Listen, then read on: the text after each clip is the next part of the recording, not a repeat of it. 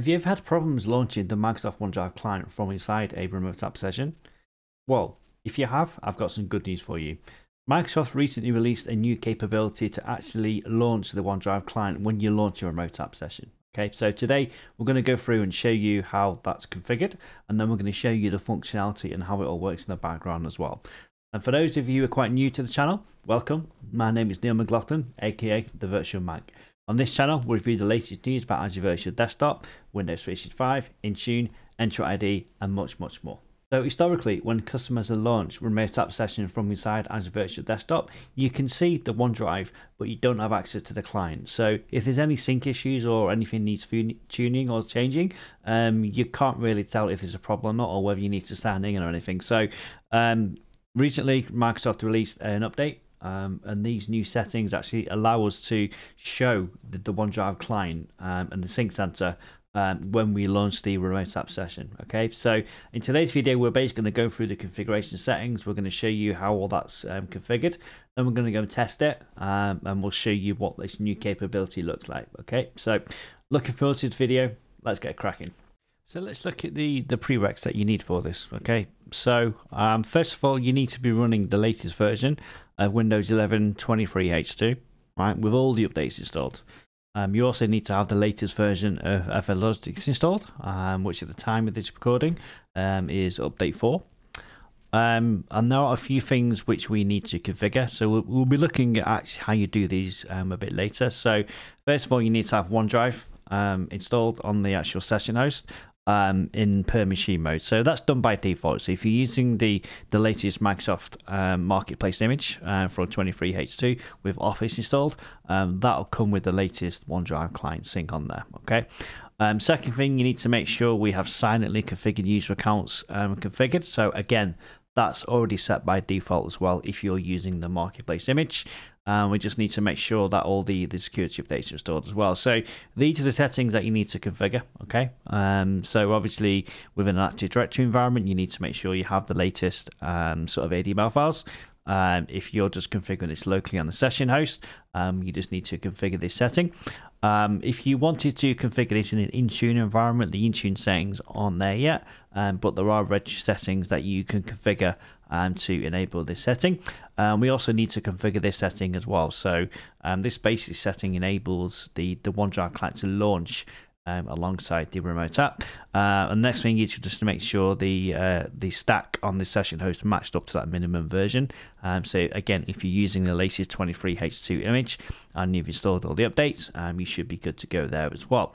Um, and that's pretty much all you need to do. Okay, so it's not actually that much to configure. Um, it's essentially just two settings as long as you're fully up to date. Um, so and we'll go through and implement this now, and then we'll test it and show you what this actually looks like. Okay.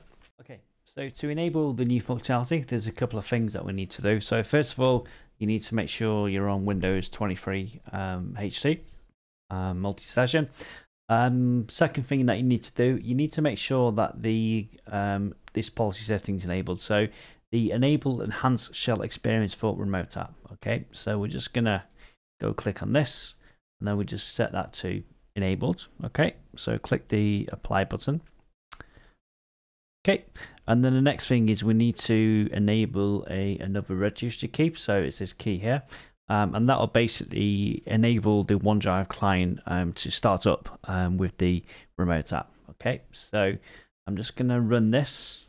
Okay, so that should uh, created. So let's just double check that. So if I go to uh, cool, yep. So you can see that's now selected. So that means that um, once the uh, user signs into remote app session, um, the, the Microsoft OneDrive client um, will sync up or open up um, in the background. Okay, so let's go and try and test this. So I've set the policy settings, I've set this, so I'm just going to log off from this session host and then we will launch session and see what happens. So we're going to use the Windows app to launch. So I'm going to launch Microsoft Word.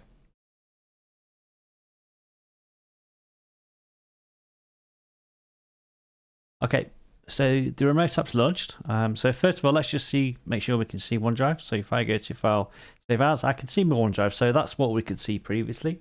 Um, but the difference is the new setting is if we go down to um, here, I can see this little OneDrive icon down here. Okay, so this is what we couldn't do previously. All we could do was like save as and stuff. So let, let's just test this and prove this. So testing OneDrive. So I'm just going to go to File, Save As. I'm going to test the testing new functionality. Okay, I'm just going to save that as a document in my OneDrive folder. Okay, got it. Um, and then if I just now go up into my client, you can see there I can now see that client. So that's a new um, kind of GUI that's been unleashed. Um, and then we can also go and look at settings as well. Um, so this is the username that I'm using to test this account with. And then we can just go and configure um, different stuff within there as well. So um, that's quite cool. So yeah, this is the, the new functionality. Um, a lot of people uh, have been asking for this. so very, very good that Microsoft have now got it into kind of general availability. Um, so yeah, that's it for me. A quick one today. Um, something which looks very very simple, um, but is actually um, extremely useful, um, especially if there's issues with OneDrive that you want to troubleshoot um, inside a, a remote app session.